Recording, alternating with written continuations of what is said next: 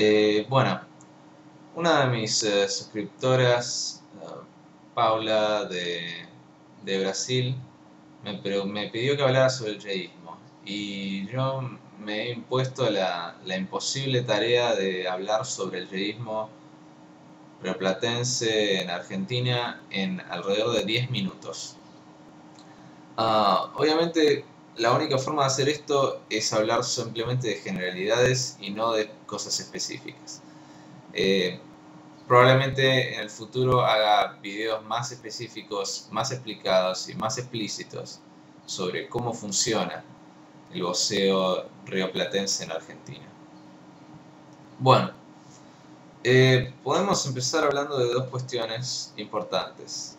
Cuando uno habla de voceo, está hablando de dos cosas. Está hablando de voceo pronominal y de voceo verbal. El voceo pronominal consiste en que uno usa diferentes pronombres para la segunda persona del singular. Por ejemplo, en España, eh, por lo menos en el centro norte, eh, hay dos, dos, eh, dos pronombres para la persona, para la segunda persona del singular. Uno de, uno de confianza, tú, y otro de respeto, usted.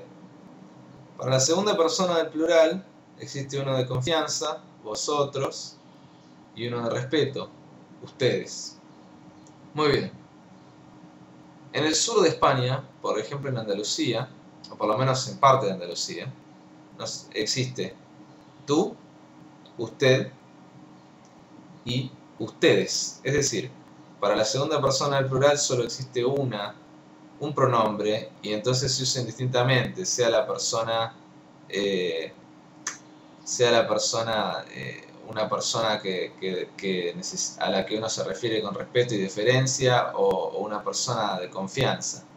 Muy bien. Eh, este paradigma, tú usted para la primera para, para el singular y ustedes para el plural es muy común en Hispanoamérica, por ejemplo en México, con la excepción de, del estado de, la zona de, Chiapas y en otros lugares. Pero ahora hablemos de voceo. ¿Qué sucede en Argentina? Ah, y algo muy parecido sucede en Uruguay. Eh, en Argentina hay voceo pronominal. ¿Qué significa esto? Que cuando uno se refiere a, la primera persona del plural, habla de ustedes, como en el resto de Hispanoamérica. Eh, es decir, no hay distinción de, entre confianza y respeto para la segunda persona del plural. Cuando uno habla a la, segunda persona del singular, eh, cuando hay confianza, uno dice vos. Y cuando hay respeto, uno dice usted. Em, los, orígenes de, los orígenes históricos del voceo, yo no puedo explicar esto en 10 minutos. Eh, pero al final del video les voy a recomendar unos artículos académicos eh, serios sobre el tema. Eh, bueno, esto sucede en Argentina, por lo menos en la zona de influencia rioplatense. Para la, segunda para la segunda persona del singular, correspondiente a lo que en inglés sería you, uno dice en confianza, vos, eh, para respeto, usted. La segunda persona del plural, lo que en inglés sería you guys, aunque es, no es estándar, pero es muy extendido, o you all en el sur de Estados Unidos, uno dice ustedes, es decir, no hay distinción entre respeto y confianza en la segunda del plural. Luego existe lo que se llama el voceo verbal. ¿Qué quiere decir? Que además de usar los pronombres correspondientes a vos, para la segunda del singular en el tratamiento de confianza, o de, menos, o de menor formalidad, también cambian los verbos.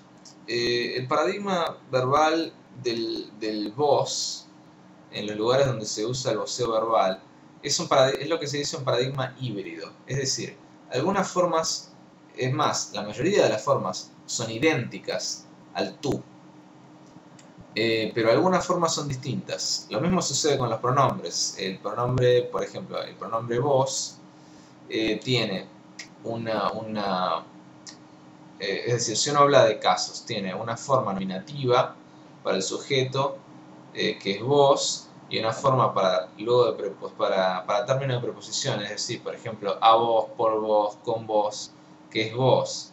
Y en esto es diferente al al pronombre tú, pero en todos los otros casos, para objeto, objeto, objeto directo, objeto indirecto, los pronombres son iguales. Eh, si ustedes leen los artículos que les voy a, que les voy a, a recomendar, eh, van a encontrar más información sobre esto y probablemente yo haga un video sobre los pronombres correspondientes y cómo funcionan en las oraciones, en las distintas oraciones que uno puede decir en, en castellano acá en Argentina con nuestro sistema. Bueno, voceo verbal. Eh, el voceo verbal, como yo les decía, es un paradigma híbrido, así como el paradigma pronominal. Es una mezcla entre las formas de tú y las formas históricas de vos. Este es un tema muy largo, eh, de dónde viene el vos, bueno, lo verán en los artículos. Eh, tanto los verbos como, los pronombres. les resumo, el vos viene del vosotros, de la segunda persona del plural usada en España que pasó a ser segunda persona del singular por respeto, luego ese uso se perdió y se abandonó en España, quedando el sistema que queda hoy de tú, usted para el singular y vosotros, usted para el plural, pero en Hispanoamérica el vos para el singular sobrevivió en distintas formas y esto, esta forma es como sobrevivió acá en Argentina. Bueno, voceo verbal. Básicamente, ahora me voy a fijar en mi referencia, que es uno de estos artículos. Eh, las, hay diferencias en algunos tiempos verbales. Eh, algunos, eh, los más eh, salientes serían presente del indicativo, el futuro simple, que por otro lado, acá en Argentina el futuro simple no se usa para hablar del futuro. Para hablar del futuro se usa lo que se llama el futuro perifrástico, es decir, en vez de cantarás, en vez de cantarás, temerás o partirás, con los verbos cantar, temer y partir, de las tres conjugaciones regulares todos. Eh, nosotros usamos ese futuro para ese cantarás, temerás, partirás con un matiz condicional o subjuntivo. Eh, cuando nosotros queremos hablar del futuro propiamente dicho, decimos, vas a cantar, vos vas a cantar, vas a temer, vas a partir. Eh, más allá de que temer es un verbo un poco, es un verbo no, no, muy común en Argentina. Generalmente nosotros decimos tener miedo, temer es un verbo más formal. Eh, bueno, entonces, ¿cómo funciona el presente del indicativo, el futuro simple, con los detalles que mencioné, y el imperativo?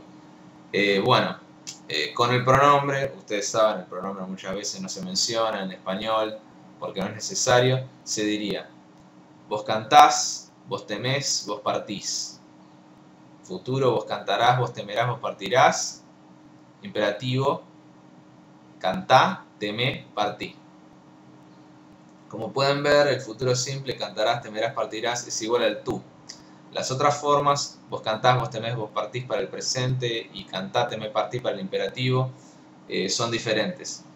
Y son las formas correspondientes eh, al, al, al vos acá en Argentina. Es decir, obviamente cuando uno habla de vos, en vos cantaste, me partís, usa esta forma, cantaste, me partís, usa esta forma, cantarás, me partir, eso usa la del tú. Y en la mayoría de los otros tiempos verbales también usa las formas del tú. Pero obviamente el, el presente es un, y el imperativo son tiempos de, de alta frecuencia, el presente y el indicativo, entonces uno oye esto con gran frecuencia acá en, en, en, en esta zona, en la zona de, de Argentina donde se habla el río platense. Bueno, eh, algo parecido sucede en Uruguay, pero no quiero extenderme demasiado. Eh, bueno, eh, para hacerles un resumen muy cortito, según lo que dicen estos artículos, en Uruguay se usa la pauta, se usa el voceo verbal que yo mencioné, pero a la hora de usar el pronombre hay un sistema triple para la segunda persona del singular, de tú, vos y usted.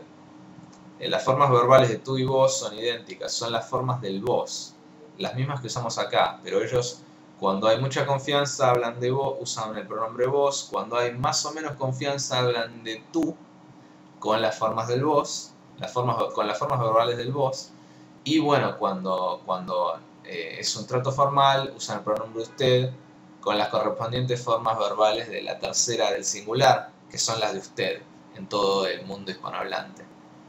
Bueno, eh, esto es todo lo que les puedo resumir sobre esto. Eh, este es un video muy general y muy resumido. Eh, voy a poner un poco más de información en, la descripción del video. Y lo que voy a poner también es la referencia bibliográfica de estos tres artículos. Y les voy a mostrar los tres artículos.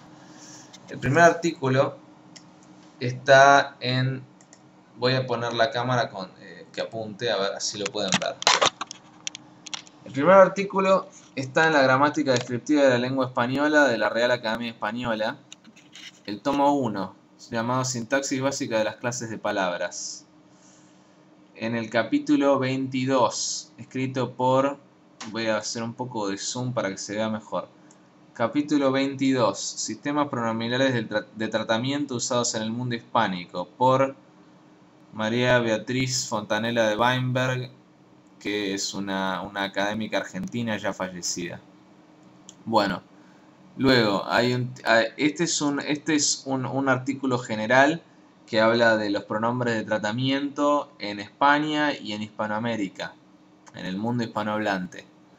Y eh, bueno, simplemente para que tengan, disculpen cómo se mueve la cámara, voy a tratar de, tenerla con las dos manos. Eh, este artículo habla sobre el sistema pronominal, es decir, sobre el voceo pronominal, aunque también menciona el voceo, menciona eh, aspectos del voceo verbal. Este es un artículo muy general y es el único sobre este tema que está, que se encuentra y es el único específico sobre este tema que se encuentra en la gramática de la lengua en la gramática de la Real Academia Española. Bueno, este, este otro artículo yo creo que es mejor, pero requiere más conocimiento eh, eh, de, su parte, ¿no? Se llama Antecedentes y derivaciones del voceo argentino, por Ángela Di Tulio, otra académica también argentina. Voy a leer el resumen o abstract que es, este es el único de los tres artículos que tiene un abstract. Dice, se examinan aquí algunos problemas relativos al voceo americano, su formación y valoración. En primer lugar, se ubica el voceo americano entre los sistemas de tratamiento del español actual, luego se analizan los resultados del voceo en España y en América y finalmente se discuten los juicios valorativos de arcaísmo y vulgarismo que a menudo se aplican al voceo. Finalmente hay un artículo de Rafael Lapesa que se llama Las formas verbales de segunda persona y los orígenes del voceo. Bueno, eh, estoy por llegar a los 15 minutos, por lo cual este video tiene que llegar a su fin. Si tienen alguna pregunta o comentario, espero que me la dejen. Eh, que me pongan un comentario en este video o en su defecto que me manden un mensaje personal. Muchas gracias y espero que les haya sido útil. Hasta la próxima.